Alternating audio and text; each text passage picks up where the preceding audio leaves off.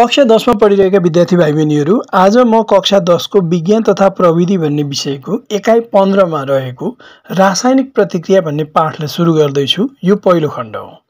यो रासायनिक प्रतिक्रिया अत्यन्तै महत्त्वपूर्ण च्याप्टर हो।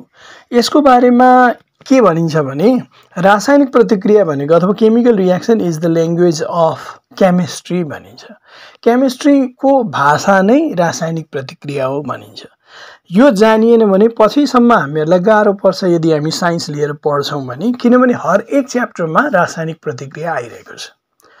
र विद्यार्थीहरूलाई यो रासायनिक प्रतिक्रिया गाह्रो पनि लाग्ने गरेको देखिएको छ। यसको मूल कारण के हो भने यो रासायनिक प्रतिक्रिया सिक्नुभन्दा पहिले आवश्यक याद गर्नुपर्ने कुराहरू याद नगरेर हो। सबभन्दा पहिले त हामीहरूले तत्त्वको सङ्केत र संयोजता अनि त्यसपछि रेडिकलहरूको फर्मुला र संयोजता याद नगरुन्जेलसम्म रासायनिक प्रतिक्रिया लेख्न सकिँदैन त्यसैले म त्यहीँबाट सुरु गर्दैछु। सबभन्दा पहिले त संयोजता भनेकै के होबाट सुरु गरौँ न। हामीहरूले जस्तै एउटा तत्त्व अर्को तत्त्वसँग मिल्दा कुन अनुपातमा मिल्छ? त्यसै गरी एउटा रेडिकल अर्को तत्त्वसँग मिल्दा कुन अनुपातमा मिल्छ? भन्ने कुरा नै संयोजता हो। अथवा एउटा तत्त्वले अर्को तत्त्व वा रेडिकलसँग संयोजन गर्ने क्षमतालाई संयोजता भनिन्छ। यसलाई बुझ्नको लागि उदाहरणबाट जाउँ है त। मानौ यो क्लोरिन अर्को अक्सिजन अर्को नाइट्रोजन र कार्बन मैले सङ्केत मात्र लेखेँ यिनीहरूलाई मैले हाइड्रोजनसँग रासायनिक प्रतिक्रिया गराउनु खोजेँ भने एउटा क्लोरिनको परमाणुले एउटा हाइड्रोजनको परमाणुसँग संयोजन गर्दछ र हाइड्रोजन क्लोराइड बन्दछ। भने त्यो एउटा अक्सिजनको परमाणुले चाहिँ एउटा हाइड्रोजनसँग संयोजन गर्दैन दुईवटा हाइड्रोजनसँग संयोजन गर्छ र पानीको मलिकुल यसरी बन्यो। तर नाइट्रोजन मैले एकातिर एउटा परमाणु मात्रै भनिरहेको छु है क्लोरिनको अक्सिजनको नाइट्रोजनको कार्बनको। नाइट्रोजनको एउटा परमाणुलाई हाइड्रोजनसँग संयोजन गराउँदा यसले तिनवटा हाइड्रोजन परमाणुसँग संयोजन गर्दछ र अमोनिया भन्ने कम्पाउन्ड बन्छ एनएस थ्री। त्यसै गरेर कार्बनले चारवटासँग संयोजन गर्छ र मिथेन भन्ने कम्पाउन्ड बन्दछ यसरी कुनै तत्त्वको एउटा परमाणुले हाइड्रोजनका कतिवटा परमाणुहरूसँग संयोजन गर्न सक्छ गर्दछ त्यो नै त्यो तत्त्वको भ्यालेन्सी भनेर डिक्लेयर गरिएको छ। भन्नुको अर्थ यहाँ हेर्दा हेर्दा के भयो भने क्लोरिनको संयोजता एक भयो। त्यस्तै गरेर अक्सिजनको संयोजता दुई किनभने अक्सिजनको एउटा परमाणुले हाइड्रोजनको दुई परमाणुसँग संयोजन गर्छ। त्यसै गरेर नाइट्रोजनको कति? तिन। अनि कार्बनको चार। यसरी हरेक तत्त्वको एउटा परमाणुले हाइड्रोजनको कतिवटा परमाणुसँग संयोजन गर्दछ त्यतिवटा हाइड्रोजन परमाणुको सङ्ख्या नै त्यो तत्त्वको भ्यालेन्सी हुन्छ। हाइड्रोजनसँग कसैले संयोजन गर्दैन भने क्लोरिनसँग संयोजन गरेर त्यसको भ्यालेन्सी डिक्लेयर गर्न सकिन्छ। यसरी हामीले संयोजतालाई बुझौँ अब यसलाई परिभाषित गर्दा तत्त्वहरू वा रेडिकलहरूले एकले अर्कोसँग संयोजन गर्ने क्षमतालाई संयोजता भनिन्छ भन्दा हुन्छ। निर्धारण प्रक्रियाको आधारमा कुनै पनि तत्त्वका एउटा परमाणुले हाइड्रोजनको जतिवटा परमाणुहरूसँग संयोजन गर्दछ त्यति नै हाइड्रोजन परमाणुको सङ्ख्या त्यस तत्त्वको संयोजता हुन्छ। उदाहरणको लागि नाइट्रोजनको एउटा परमाणुले हाइड्रोजनको तिनवटा परमाणुहरूसँग संयोजन गरेर अमोनिया बन्दछ त्यसैले नाइट्रोजनको संयोजता तिन हुन्छ। यसरी हामी संयोजताको बारेमा बुझ्न सक्छौँ। यति बुझिसकेपछि अब अगाडि बढौँ रेडिकलको कुरा गरौँ है। पहिले संयोजता अथवा भ्यालेन्सी अब रेडिकल। रेडिकल भनेको के? पहिले चिनौँ। दुई वा दुईभन्दा बढी तत्त्वका परमाणुहरूको समूह जसले रासायनिक प्रतिक्रियामा एउटा एकाइको व्यवहार गर्छ सिङ्गल युनिटको व्यवहार गर्छ त्यसलाई रेडिकल भन्छ। जस्तै सल्फेट एउटा रेडिकल हो। यहाँ एउटा सल्फरको परमाणु चारवटा अक्सिजनको परमाणुसँग मिलेको छ तर यसको स्वतन्त्र अस्तित्व हुँदैन। मतलब सल्फेट मात्रै कहीँ पाइँदैन। त्यसै गरेर नाइट्रोजनको एउटा परमाणु अक्सिजनको तिनवटा परमाणुसँग मिलेर नाइट्रेट बनेको छ। नाइट्रेटको स्वतन्त्र अस्तित्व चाहिँ हुँदैन। यो सल्फेट भनौँ या नाइट्रेट भनौँ यो रेडिकल फ्री कहीँ पनि पाइँदैन। तर यो कुनै अर्को तत्त्वसँग मिलेको अवस्थामा वा यो कुनै अर्को रेडिकलसँग मिलेको अवस्थामा यौगिकमा चाहिँ हुन्छ। जस्तै सल्फेट सोडियमसँग मिलेको छ भने सोडियम सल्फेट भन्ने कम्पाउन्ड बन्दछ। त्यसै सल्फेट पोटासियमसँग मिलेको छ भने पोटासियम सल्फेट भन्ने कम्पाउन्ड बन्छ। सल्फेटको अस्तित्व त्यो पोटासियम सल्फेट सोडियम सल्फेटमा छ। त्यसै गरेर सल्फेट अर्को रेडिकलसँग मिलेर जस्तै अमोनियमसँग मिल्यो भने अमोनियम सल्फेट भन्ने कम्पाउन्डमा यो प्राप्त छ। त्यसै गरेर यहाँ नाइट्रेट हेरौँ। अब नाइट्रेट चाहिँ क्याल्सियमसँग एउटा तत्त्व क्याल्सियमसँग मिलेको छ भने क्याल्सियम नाइट्रेट हुन्छ म्याग्नेसियमसँग मिलेको छ भने म्याग्नेसियम नाइट्रेट हुन्छ अथवा अर्को रेडिकल अमोनियमसँग मिलेको छ भने अमोनियम नाइट्रेट हुन्छ। नाइट्रेट आफै मात्र काहीँ पनि स्वतन्त्र रूपले रहँदैन पाइँदैन तर अर्को तत्त्व वा अर्को रेडिकलसँग मिलेको अवस्थामा कम्पाउन्डमा प्राप्त छ। अब यसरी रेडिकललाई बुझ्नु पऱ्यो रेडिकल कम्पाउन्ड होइन तत्त्वहरूको समूह हो। अब यति बुझेपछि हामी अब तत्त्वहरूको सङ्केत र संयोजता घोक्न बाध्य छौँ है। यदि यो याद भएन भनेदेखि रासायनिक प्रतिक्रिया लेख्न सकिँदैन। यस्ता केही आधारहरू म बताउँदैछु। एक नम्बरको कुरा यो टेबलमा दिएको कुराहरू याद गर्नुपर्छ। संयोजता एक। यो संयोजता लेखेको मैले एक भएका तत्त्वहरू के? Hydrogen sodium potassium fluorine chlorine bromine iodine silver copper mercury gold AU भनेको एरम गोल्ड अब यहाँनिर यो तत्त्वहरूको संयोजता एक हुन्छ। तिमीले याद गर्यौ मैले कतै बोल्ड अक्षर लेखेँ। सोडियम र पोटासियमलाई बोल्ड लेखेको छ। सिल्भर कपर मर्करी गोल्डलाई पनि बोल्ड लेखेको छ। यो बोल्ड अक्षर लेख्नुको मतलब मैले धातुहरूलाई बोल्ड अक्षर लेखेको है। यो चिन्हको लागि धातु चिन्नु पर्यो।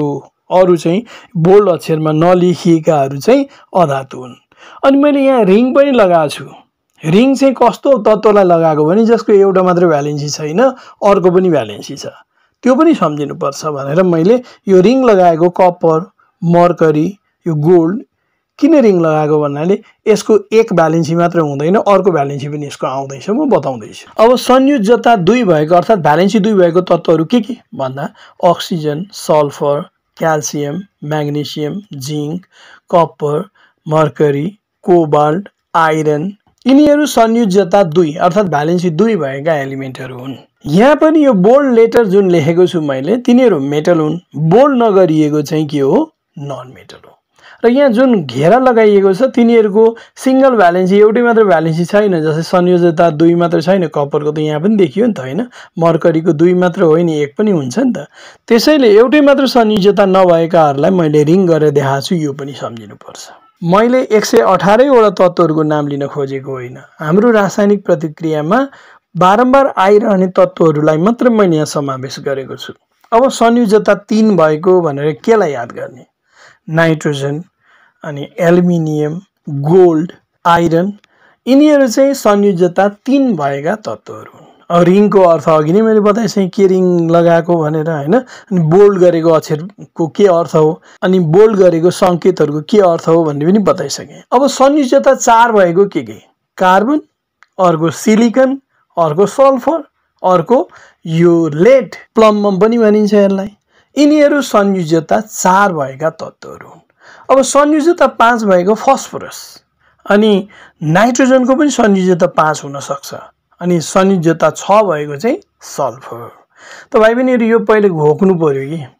तिमीहरूलाई यसरी घोक्नु पऱ्यो कि म्याग्नेसियमको भ्यालेन्सी म्याग्नेसियम भने एमजी भ्यालेन्सी टू। अनि sulphur S valency two.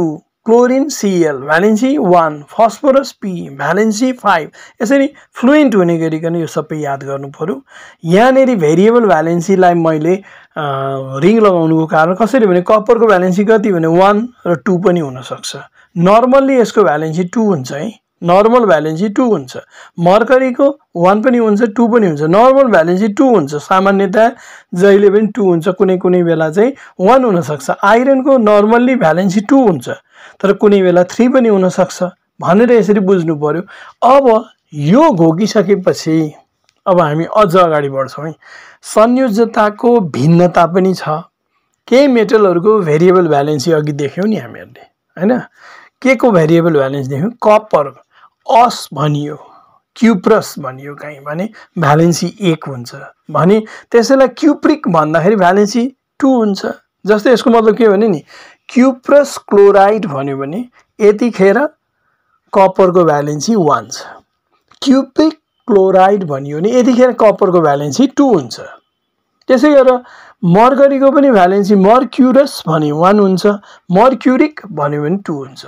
Mercurous oxide भन्ने अक्सिजनसँग मिलेको छ मर्करीको भ्यालेन्सी वान छ। मर्क्युरिक अक्साइड भन्यो भने अक्सिजनसँग मिलेको छ तर मर्करीको भ्यालेन्सी यतिखेर टू छ।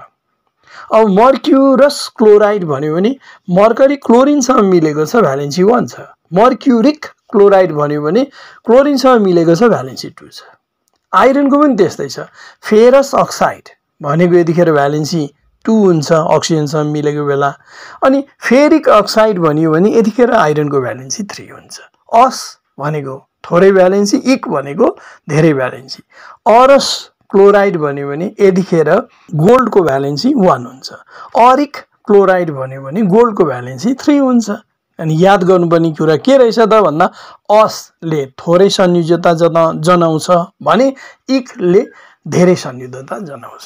यो पनि याद गर्नु पऱ्यो अब यहाँनिर अर्को कुरो पनि याद गर्नु पऱ्यो नाइट्रोजनको भ्यालेन्सी तिन पनि हुनसक्छ पाँच पनि हुनसक्छ। तिनलाई मैले रातो किन लगाएको भने नर्मल्ली यसको भ्यालेन्सी तिन हुन्छ। र अर्को सल्फरको भ्यालेन्सी दुई चार छ तिनवटा हुनसक्छ। नर्मल्ली यसको भ्यालेन्सी टू हुन्छ। र कहिलेकाहीँ यसको चार पनि हुनसक्छ सल्फर डाइअक्साइडमा यसको भ्यालेन्सी चार छ होइन? हाइड्रोजन सल्फाइडमा दुई छ सल्फर डाइअक्साइडमा चार छ अनि सल्फर ट्राइअक्साइड भन्ने एउटा कम्पाउन्ड हुन्छ त्यसमा यसको भ्यालेन्सी छ। यसरी केही तत्त्वहरू छन् मेटल र नन मेटल यिनीहरूको भेरिएबल भ्यालेन्सी हुन्छ भन्ने पनि सम्झिनु पऱ्यो यसपछि अब रेडिकलहरूको फर्मुला र संयोजता सम्झिनु पर्यो। एलिमेन्टहरूको सङ्केत रेडिकलहरूको फर्मुला। अब मैले यहाँ दस बाह्रवटा ल्याएको छु। सल्फेट फर्मुला के? SO valency two sulphite SO three valency two nitrate NO three valency one nitrite NO two valency one carbonate CO three valency two ammonium NS four valency one यो सम्झिनु पऱ्यो है? यो नसम्झिकन रासायनिक प्रतिक्रिया गर्न सकिँदैन है? या याद गरौँ। एलिमेन्टहरूको सिम्बो र यो रेडिकलहरूको फर्मुला सम्झिनुपर्छ अनि तिनीहरूको भ्यालेन्सी सम्झिनुपर्छ।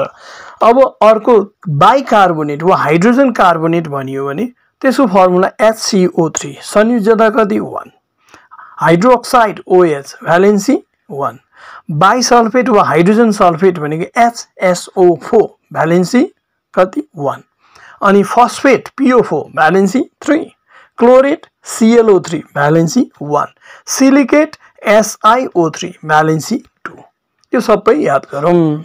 अब यो याद गरिसकेपछि हामीले यस्तो फ्लुएन्टली भन्न सक्नु पऱ्यो सल्फेट भने SO four valency two carbonate CO three valency two ammonium NS four valency one फटाफट भन्न सक्ने गरी हामीलाई याद हुनु पऱ्यो अब रासायनिक प्रतिक्रिया लेख्न सक्छौँ। किनभने यदि याद गरेपछि कुनै यौगिकको अणुसूत्र लेख्न सक्छौँ अणुसूत्र लेख्न सकेपछि अनि रासायनिक प्रतिक्रिया लेख्न सक्छौँ। तपाईँ पनि यो अहिले मैले जति पनि याद गर्ने भनेको छु त्यो सबै अब स्न्यापसट लिएर अथवा चाहिँ नि कसरी हुन्छ यहाँबाट पढेर घोकेर याद गरौँ? म अर्को क्लास केमिस्ट्रीको चढाउँदाखेरि म मलिकुलर फर्मुला लेख्न सिकाउँछु अथवा अणुसूत्र लेख्न सिकाउँछु अनि त्यसपछि हामी रासायनिक प्रतिक्रियामा छिर्छौँ। यो बिना रासायनिक प्रतिक्रिया सम्भव छैन।